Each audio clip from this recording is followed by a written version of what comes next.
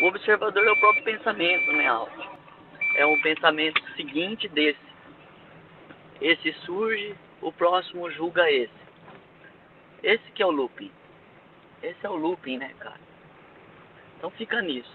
Agora, esse pensamento aí, cara, se você for ver mesmo, ele não acompanha o movimento das coisas reais, né, cara? Vamos dizer assim. Ele não acompanha o movimento, por exemplo, da, da você pegar um, um, microscópio lá, cara, com células vivas, se você for observar, as células ficam mexendo o tempo inteiro. O pensamento, cara, ele cria uma imagem em cima desse negócio aí, como se a coisa fosse paralisada. Ele não acompanha o movimento em si. Entendeu? Algum bug deu nesse sistema de pensamento nosso. Caiu no looping. É, o termo tá correto, caiu no looping. Então o pensamento, cara, que essa coisa aí, né, que a gente chama de pensamento, é isso aí, cara. Então tudo pra ele tem que ser uma caixotinha, né, cara? Uma caixinha, certinho e tal. Você passa assim, ó, um dia você vê a árvore, outro dia você vê a mesma árvore. Na cabeça é a mesma árvore, mas ela tem um ó, bababá, alguma coisa ali mudou, não sei o que, não sei o que. Isso aí a gente não vê também. Não adianta viajar. É isso que eu tô tentando falar. Não adianta, pensamento não acompanha, cara. Ele não acompanha a mudança das coisas. O pensamento é limitado na própria medida de tempo e espaço que ele cria. Então, ele vê uma imagem dentro do espaço que ele cria de percepção e de tempo. Então, ele não tem uma visão holística, atemporal. É, boa. Você usou o termo certo, holística ele não tem uma visão holística. Só que tudo é holístico, mas não tem essa visão holística. Você teve lá, teve um vislumbre e tal do negócio. Mas de certa forma, cara, uh, esse pensamento aí do jeito que ele tá aí, né, ele não permite. Agora, se essa estrutura aí que você chamou de consciência, se isso aí é, é tudo isso, tudo que capta, tudo que chega, tudo que por onde tudo que aparece, Aí a gente está falando de outra coisa. Ele não só cria, como ele está inserido no próprio tempo, que é limitado. O espaço-tempo que ele se encontra é limitado. Então é sempre dentro daquele pacote, daquilo que da, da própria imagem que foi criada dentro desse espaço-tempo. Da limitada capacidade de percepção. É, é tudo que está nessa esfera aí de, de, desse espaço-tempo, onde se encontra o pensamento, é limitado, não, ele, não, ele não alcança nada além disso. Então ele que dá essa sensação de looping, ele que faz isso. Ele faz a gente ver, cara, como velho, né, cara? Como se a pessoa que. Vou pôr a pessoa. Vou pôr pessoa, tá, cara?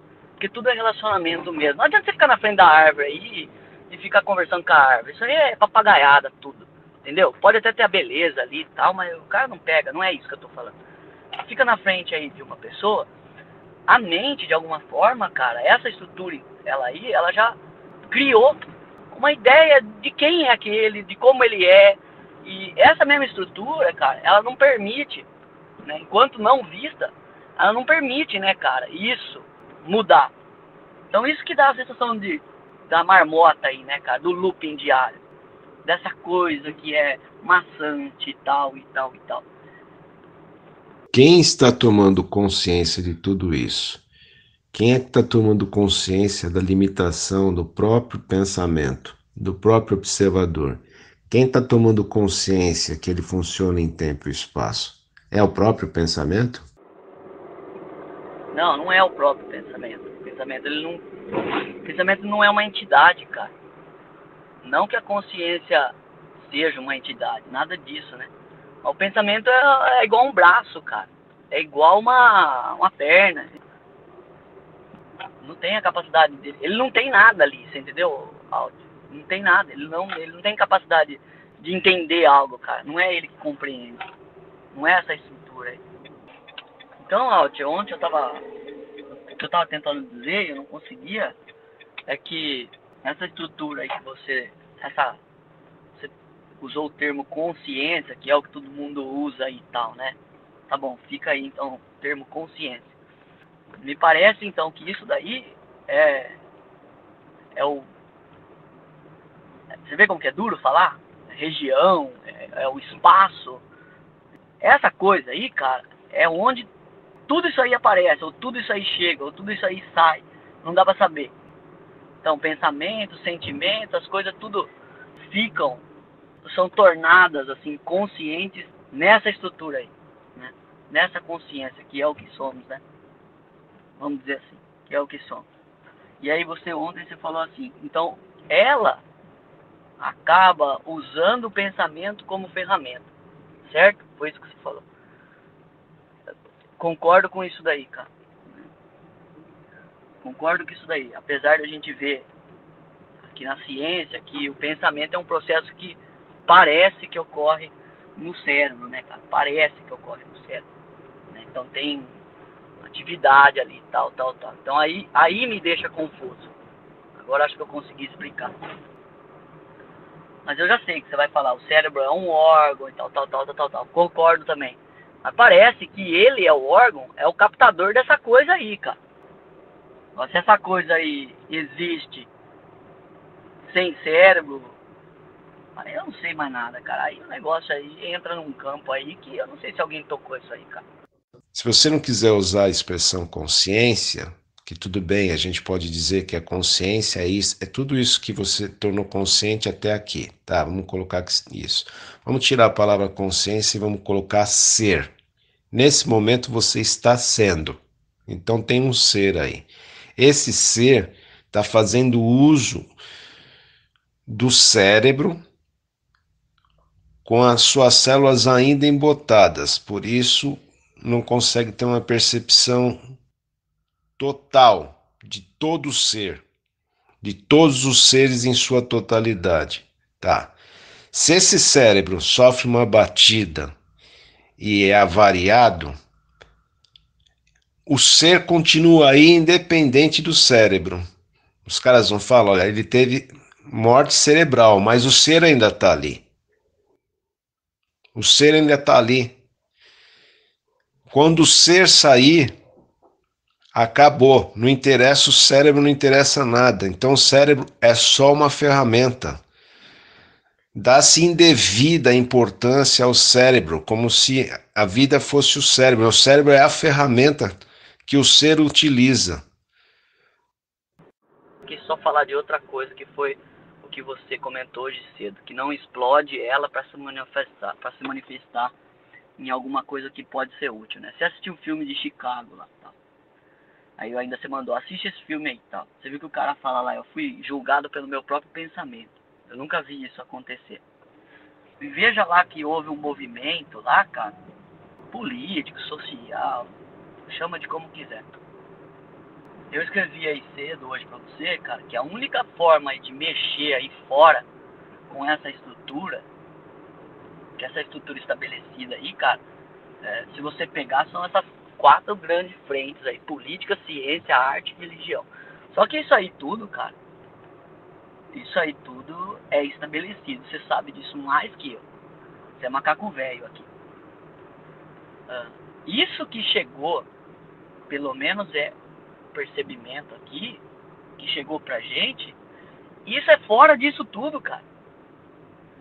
Isso, eu vou dizer uma coisa, Alt, muito, muito com cuidado assim, que eu vou dizer assim, mas isso parece que é fora, fora dessa corrente. Isso é como se jogasse assim, ah, cara, eu vou tirar você disso tudo, entendeu? Ponto. Ponto. Eu vou tirar você disso tudo. Ponto, cara. Ponto. Por que, que eu tô falando isso, cara? Eu tô pensando, refletindo no que você falou na conversa que nós tivemos com a Deca. Esse material pode ser um material para para alguém que queira ir no futuro, cara. E só. E no momento só. O cara que tá insatisfeito com tudo isso daí, velho, e tipo, cansou. Aí você vai falar, ah, vai jogar no sofá. Cara, vai jogar no sofá. Ah, vai jogar no, no oco. Vai jogar pra você ver o looping do oco aí. Ah, vai jogar numa falta de total sentido. vai jogar nisso daí também. Isso aqui se manifesta dessa forma, cara, pelo que eu vejo. Por quê? Você conta um padrão que tem aí em vocês e que está se manifestando aqui, cara. E é melhor o cara não se assustar. Grana, não sei o que. Ah, velho. Essas coisas aí eu não sei não, cara. Se estão relacionadas ah, de certa forma com isso daqui. Não acho que nem que nem tem nada errado com isso daí. Cada um faz uma uma certa escolha em um certo nível aí para para ficar ou não dentro dessas coisas, desse sistema. Eu, naturalmente, eu fui saindo de tudo ali, dentro de onde eu trabalho. De todas as comissões, de todos os cargos. Mas porque eu quis, cara. Porque a coisa foi virando, porque eu não quero me envolver mais com aquilo ali, não vejo sentido de ficar ali administrando algo. Eu não vejo sentido. Sorry, o que, que eu vou fazer? Sinto muito, cara. A coisa se manifesta desse jeito, me parece. Vamos colocar de uma forma diferente. Nós podemos dizer que tem a consciência da mente adquirida. A mente adquiriu várias informações e aí ela tem essas informações como a consciência dela. Mas há uma consciência anterior à mente adquirida. Há uma consciência anterior, uma consciência pura antes do que a mente adquirida adquiriu. É isso que chamo por consciência, e não essa consciência do ego, essa consciência pessoalizada, essa consciência temporalizada. O que nós temos aí, que a grande maioria tem por consciência, é sempre limitado por tempo e espaço, ou seja, pela capacidade de memorização para dar uma resposta às coisas. Então, não consegue dar uma resposta livre do velho. Tá? E mesmo assim vai conseguir dar uma resposta de acordo do que consegue se lembrar da memória. Então é sempre limitado, não é puro. A gente precisa ter essa consciência pura do tempo, depurada do tempo, depurada do espaço, depurado das imagens que você mesmo citou, que nós criamos de tudo. A imagem é parte dessa memória que vai obscurecendo a capacidade de percepção real das coisas. Então é essa consciência pura da influência do tempo e espaço. A consciência precisa estar depurada até da imagem de eu como entidade separada, de eu com data, tempo, nome, história,